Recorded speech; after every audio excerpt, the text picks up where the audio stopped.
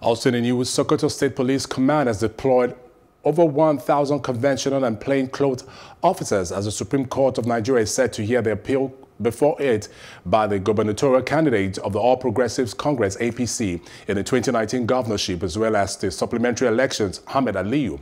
The State Commissioner of Police Ibrahim Kaoje disclosed this in Sokoto on Sunday through a press statement signed by the Command Public Relations Officer ASP Mohammed Sadiq Abubakar.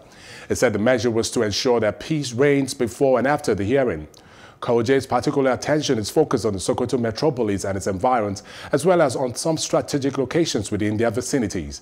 The Commissioner of Police has also vowed that the strategy will be maintained until further notice, in line with the recent directive issued by the Inspector General of Police on a 24-hour nationwide red alert.